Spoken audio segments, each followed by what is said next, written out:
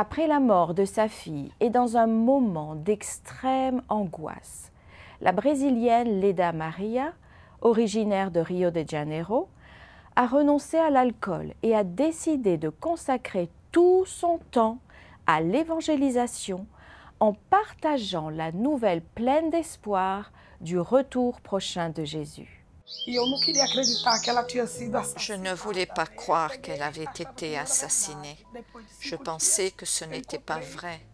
Après cinq jours, j'ai trouvé son corps. Nous sommes à la maison de César Augusto.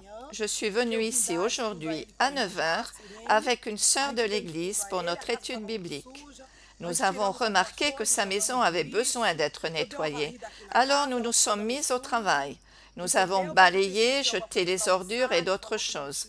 J'ai aussi appelé un ami pour qu'il vienne la nettoyer jeudi prochain. J'ai demandé s'il avait à manger et il m'a dit qu'il n'avait pas de nourriture. Comme il n'a pas de réfrigérateur ni même de cuisinière, je suis rentrée chez moi pour préparer un repas et je suis revenue pour le lui donner.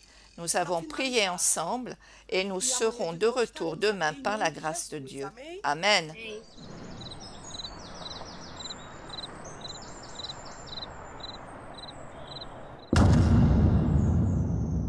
Movimentos missionários.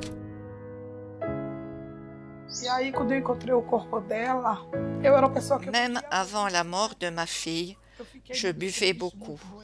Quand elle est décédée, ça a empiré. Je souffrais tellement. Je buvais mes chagrins au point d'être tout le temps malade.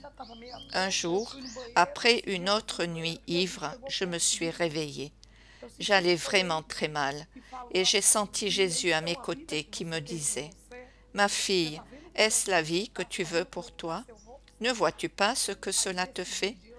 Après cela, je n'ai plus jamais touché à l'alcool.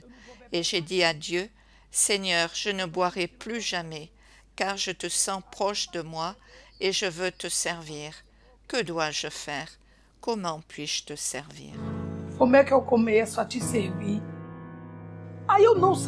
à cette époque, je ne savais pas lire. Alors j'ai lancé à Dieu un défi. Comment puis-je lire la Bible si je ne sais pas lire? J'ai donc prié et lui ai demandé de m'apprendre à lire parce que je voulais comprendre la Bible et toute la vérité qu'elle contient. Dieu m'a effectivement donné la capacité de lire. Lui-même a appris à le faire. Aujourd'hui, je lis la Bible et je l'enseigne aux autres. Gloire à Dieu.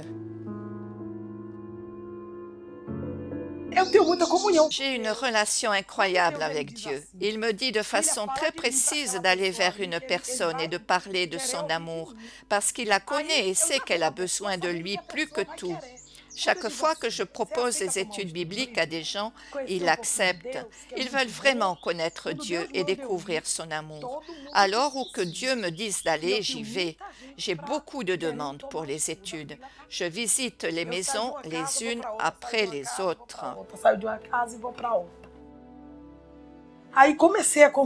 J'ai donc commencé à inviter les gens autour de moi, des gens simples, vous savez. La plupart d'entre eux n'ont pas de famille, pas d'amis ou aucune sorte d'amour. J'ai donc commencé à les rapprocher les uns des autres pour que nous puissions tous étudier ensemble. Maintenant, environ 40 personnes viennent chez moi tous les jours. Nous étudions la Bible, puis nous déjeunons ensemble, nous plaisantons et nous nous soutenons mutuellement. Si c'est l'anniversaire de quelqu'un, nous préparons un gâteau et chantons Joyeux anniversaire. Lors des dernières scènes de l'histoire de cette terre, un grand nombre de ces jeunes étonneront les gens par le témoignage simple, mais également spirituel et puissant qu'ils donneront de la vérité. No entanto, com espírito e poder. Les gens d'ici ont l'impression que nous sommes leur vraie famille. Et je leur dis que nous sommes effectivement une famille. Nous sommes tous des créations de Dieu et tous les mêmes. Sans Jésus, nous ne trouvons pas notre place, mais une fois que nous l'avons trouvé, nous devenons une grande famille. Je suis si heureuse d'avoir donné ma vie à Dieu et de pouvoir maintenant partager son amour avec tant de personnes différentes. Aimez Jésus, il est vrai et fidèle. Travaillez pour sa cause de tout votre cœur et vous serez tellement plus heureux. Dieu connaît les désirs de nos cœurs et il est notre pourvoyeur. J'ai donné ma vie à Jésus il y a quatre ans et il n'a jamais failli. Mon mari et moi sommes au chômage. Pourtant, nous avons toujours de la nourriture que nous pouvons même partager avec nos visiteurs quotidiens. Faites confiance à Jésus de tout votre cœur. Il est fidèle. Alors, croyez en lui.